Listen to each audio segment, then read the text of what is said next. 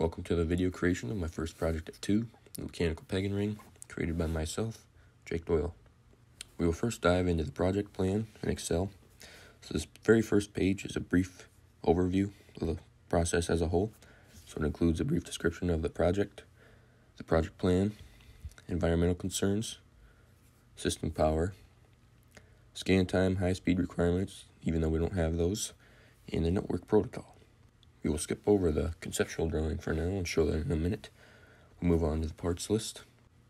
So for our parts list here, we have the preferred vendor first, and then we break this up into sections. So our first section is the power supply. Second is the input devices with all of our sensors.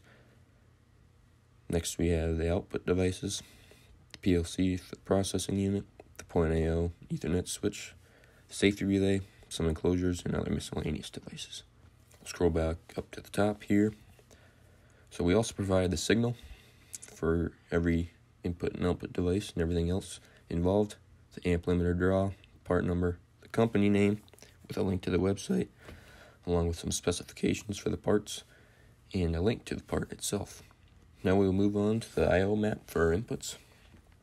So here, we broke these kind of up into sections, as you can kind of tell we have the e-stop and both push buttons along with the capacitive sensor. And then we have a group of our photo eyes. And lastly, our inductive prox sensors. There are also some comments provided on the inputs, along with the types, the device itself, where they are located within the project, along with the FactoryTalk tag. We'll scroll down here and we can also see that we've included our analog channel the scaling we used in our project, some one shots, along with some bits that are also included in our program. Move on to the outputs here. Kind of the same setup here. So we have our address, our outputs broken up into solenoids, conveyors, and then the lights. We have our bits. I've also included comments, type, device, the location, and the FactoryTalk tag. So now we'll move on to the timers and counters. As you can see here we have quite a bit of timers, our watchdog timers as well, and our counters for the products. And we will move on to the bill of materials. So the bill of materials here first provides a picture of the part we're using itself, the part, the part number, the quantity of parts, the price of each part, and the total price along with a link to the part where we can purchase the product. So we'll scroll down here, kind of catch a glimpse of all the different pieces of equipment parts we use within our process. Scroll down to the very bottom, you can see that our total number there is a pretty hefty number. Now move on to the materials list. So same thing here with the materials list. We have the wire, picture of it itself, the material, the quantity that we use, the color, and along with some specs.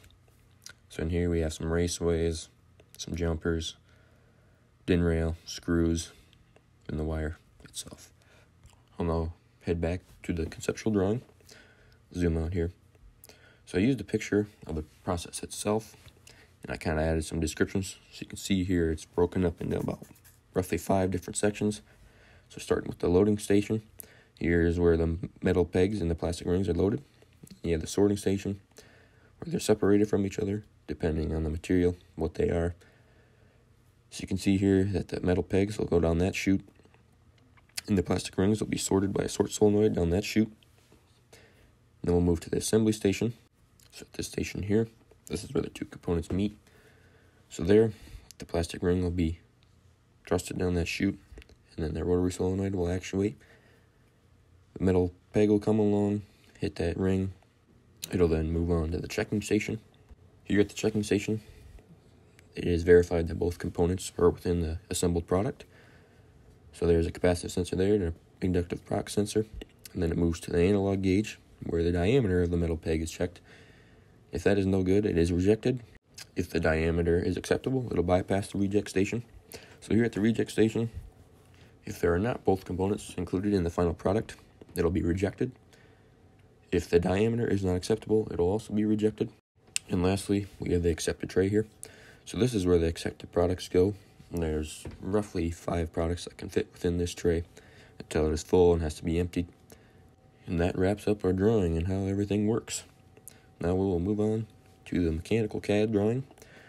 So here you can see this is how the project is physically laid out. You can see roughly a majority of the components involved. So here we have the bins and everything else that makes up the conveyor system. Sensor overhangs, some chutes. We'll move on. We have the point IO, power supply, some raceways, terminal blocks, more raceways, safety relays, some more terminal blocks, DIN rail. We have our ice cube relays, some more raceway, terminal block, and lastly our indicator lights and our push button enclosures. So now we'll move on to the electrical drawing. So first start with the power circuit here. So you can see the incoming power going to the outlet and the light, creating the power supply and then powering the rest of our components. Then we'll move down to the safety circuit. You have the safety circuit here. Two control relays cutting power all outputs. And we'll go up to the input ladders here. I kind of have these broken up like my IO map. You have your push buttons, control relay, and the capacitive sensor at the bottom. We'll move on to our photo eyes and our inductive prox sensors. And then our output ladders. So first we start with our solenoids, then we have our conveyors, then the lights. Down here we have our analog gauge, along with the wiring diagram and wording. There's also two components that break off into two separate ladders. So the inductive prox sensor and another solenoid. And lastly, we have a picture of the ice cube relays at the very bottom, showing the layout of the pins and the contacts. Now move on to a more in-depth view of the process.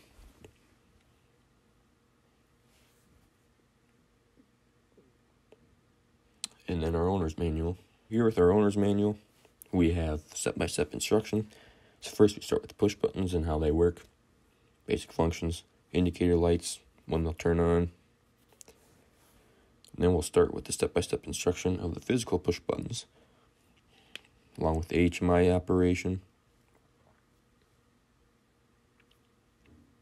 Then we'll move down to the actions of the HMI. So the screens, trending, alarms, inputs and outputs, the accepted peg size, our main screen, along with some logins and a couple notes for both processes. We will now take a brief look at a program. So for our program here, I have this broken up into four different subroutines. So first we have our main routine, basically our start stop, e-stop, timers, watchdogs, our outputs, conveyors and such. More and more timers. We have our scaling. And then our jump to subroutines. So now we'll go to the constraints. The constraints here basically sets constraints on the low and high acceptable ranges for the diameter of the metal pegs. So first we have the low. So we use less than and greater than instructions along with some moves. First two are low, bits, and the last two are high. Move on to the counters. So counters, just like the name, accepted, rejected, and total, along with the reset timer for the counters. And lastly, we'll move on to the flip-flop subroutine. This here is two timers to make our e-stop light flash. Now that you have seen the project planning in the program itself, we'll move on to the components. So you can see that we have the incoming power hitting an outlet and a light switch, then powering our power supply, converting it to 24 volts DC, and that then powers the point the top right. So that is our communication device from all the inputs and outputs included in our system to the CompactLogix PLC in the other classroom. And at the very bottom, we have arguably the most important component of the process, our safety relay. Now we will dive in to the physical operation. So here, we're showing the different lights that turn on with the process. So there we're starting, stopping, as you can see with the illuminated lights. So the green light will be on when it's started. E-stop is pressed. Both E-stop and the stop light will turn on. The E-stop light will flash. Press the reset light. E-stop light will no longer be on. Start, green light, stop, red light. So here's a clip just demonstrating how the process works as a whole. So products are loaded up. They make their way down where they need to be, sorted, assembled, checked at the analog sensor. Had a little hiccup there at the plastic rings, but it ended up working out. Once the tray is full with five accepted products, the blue light will illuminate. So here in this clip, I'm demonstrating emptying the full tray and then resetting the counters with the stop button. This next clip here demonstrates some fail routines. So first you see that there's just a plastic ring with no metal peg. That component then bypasses the checking station and is rejected. Here's a successful product. Both components are there. It's checked and accepted.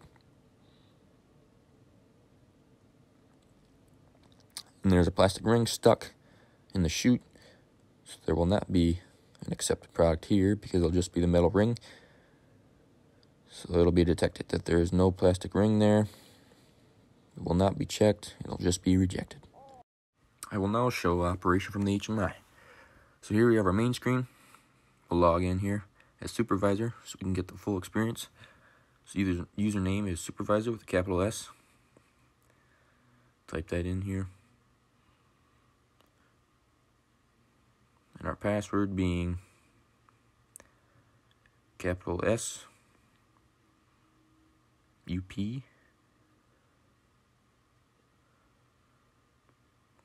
then log in here. We will now see everything on the main screen. So we have our indicator lights and our push buttons to start with. So we'll start the system from our HMI. Stop the system. We'll the physical e-stop. E-stop light will flash. Once we physically clear the e-stop and press the physical reset button, our e-stop will no longer flash.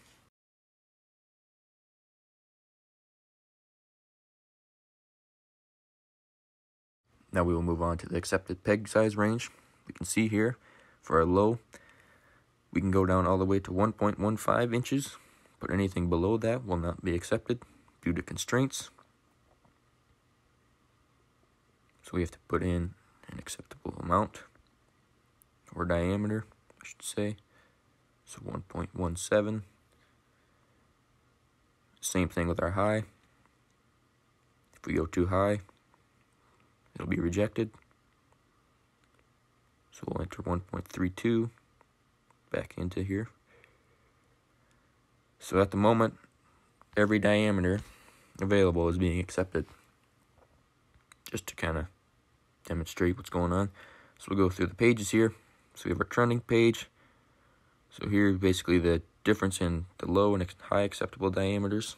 The alarms page, nothing there as of right now. Our inputs, you can see that those inputs are false, so they're illuminating red, and the ones that are true are illuminating green. Outputs, same story. Nothing is on right now currently, so those are off. Go back to our main screen, hit the start button, run through some physical operation,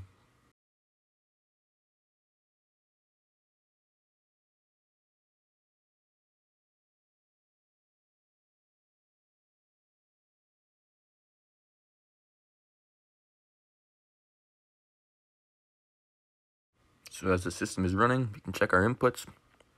See that inputs are coming true and false. Same thing with our outputs. Both conveyors are on. Once the solenoids fire, they'll become true.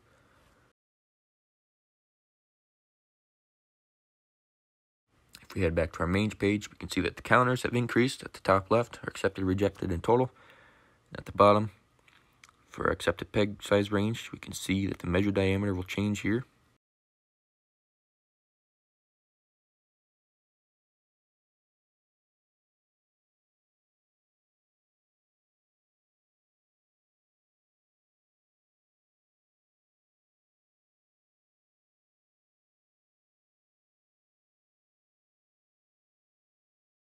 So here you can briefly see that the measured diameter falls within the range, which is then accepted.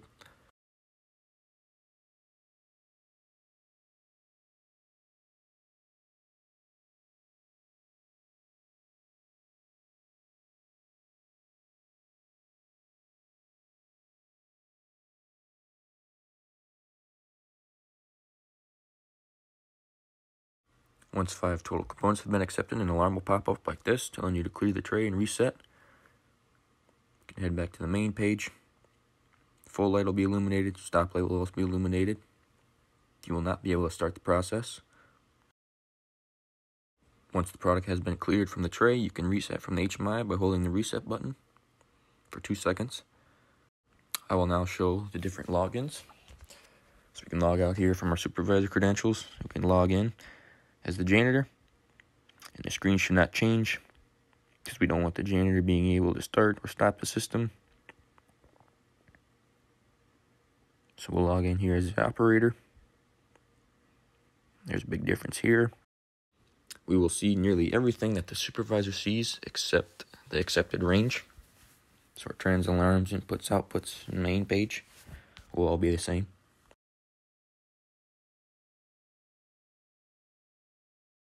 And lastly, our supervisor here, as shown in the beginning. Everything will be the same as the operator, except except its peg size range will show at the bottom left, like so. And lastly, to wrap up this video, I will briefly go over the final summary. So here I included basically the process as a whole, some obstacles I encountered, and what I did to overcome those obstacles, and overall what I thought of the project itself. So here for my what went well and needs improvement list, I guess the big thing here is I thought what went well was my HMI design. I actually really enjoyed designing that, the layout. And another thing would be the scaling for my analog gauge. After a few answered questions, I was better able to understand that.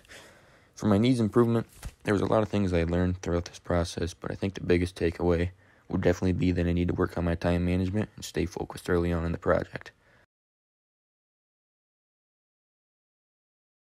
And that concludes my first project video. Thanks for watching.